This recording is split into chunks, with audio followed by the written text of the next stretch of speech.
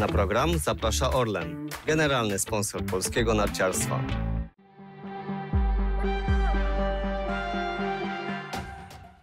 Dalekich lotów polskim skoczkom życzy firma Blachotrapez, dystrybutor systemów fotowoltaicznych Revolt Energy. Razem sięgamy nieba! bo razem możemy więcej. I to jeszcze jak. Władimir Zograwski, triumfator letniego Grand Prix 2023. Marzyłeś o tym w Courchevel, kiedy, kiedy ten żółty trykot dostałeś? E, nie, nie, nie marzyłem, bo wszystko było za, za, za daleko. E, no później po, po, po rozmowie powiedziałem, że no to wtedy te, te myśli zaczynały się pojawiać. Denerwowałeś się tutaj, bo ta rywalizacja z Gregorem Deschwandenem naprawdę emocjonująca, ciekawa dla nas. No, stres miałem dość, dość wysoko po pierwszego dnia w, e, w.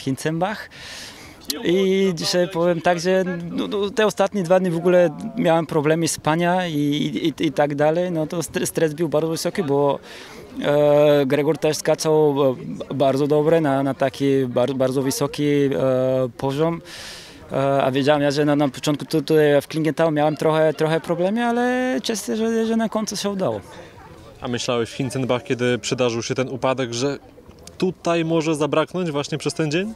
E, no, bo to, to jest jak e, je- jedne zawody mniej.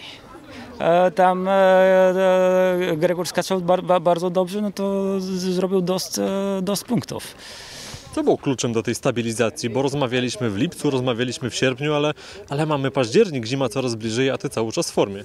No, wszystko ogólnie jest du, dużo lepiej. E, no, le- lepiej pracujemy, technika, technika jest inna i myślę, że to jest to, co, co bardzo nie, nie pomogło. Jako zawodnik jesteś sam w reprezentacji. Z tyłu widzimy team, Bułgaria Ski Jumping Team. I to naprawdę jest team, bo to robiło wrażenie. Były bułgarskie flagi na trybunach, byli kibice, ale byli też twoi bliscy. Opowiedz, co to za ludzie dzisiaj tutaj z tobą byli?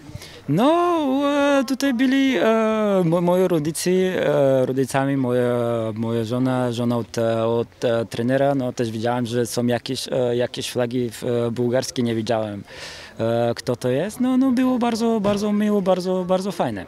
I chyba też twój brat, który też skakał na nartach kiedyś, prawda? Czy, czy się mylę? A, tak, tak, tak, do, do, do, dokładnie. No, skaczał kiedyś, ale teraz, teraz już nie. Jak sądzisz, czy ten duży sukces, to jest już duży sukces, to nie jest pojedynczy konkurs, on ma szansę przerodzić się w jakiś taki, nie duży, ale malutki na początek boom na skoki w Bułgarii?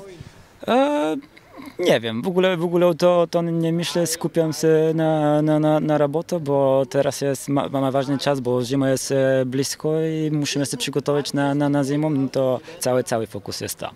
A Jest jakieś takie większe zainteresowanie? Gazety, radio, może telewizja z Bułgarii? E, na razie nie, mam, mam spokój, to jest bardzo fajne.